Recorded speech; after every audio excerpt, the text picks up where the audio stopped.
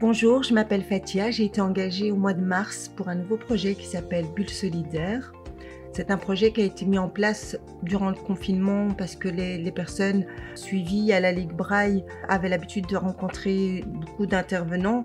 Donc moi j'interviens auprès des bénéficiaires de manière ponctuelle pour les soutenir, que ce soit pour euh, des démarches administratives, pour du psychosocial, juste pouvoir parler, échanger, raconter un peu ce qui se passe dans la semaine ou, dans le mois, briser l'isolement. Je peux soutenir la personne pour faire les courses, euh, pour faire une petite démarche euh, urgente, par exemple lire un courrier. Moi, j'interviens vraiment à la demande des assistants sociaux, des accompagnantes. En tout cas, c'est ça l'objectif.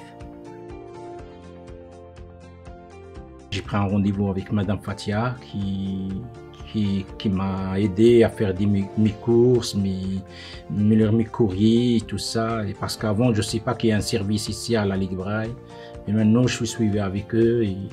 Mais après, avec ce service-là, je sens c'est très bien et tout va bien. Elle m'a beaucoup, beaucoup aidé, vraiment.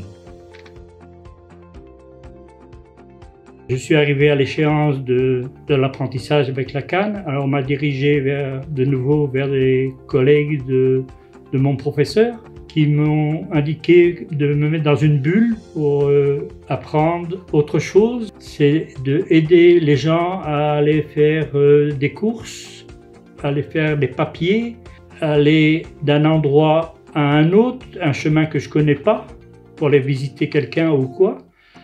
Alors j'attends de, cette bulle euh, quelque chose que, qui me fait avancer et si ça peut avancer des autres, et je serai très heureux parce que je donne de moi-même aux autres, où moi je suis passé et si un jour on se contacte, ces gens-là, je peux leur dire le positif et le négatif pour les mettre dans le bon positif.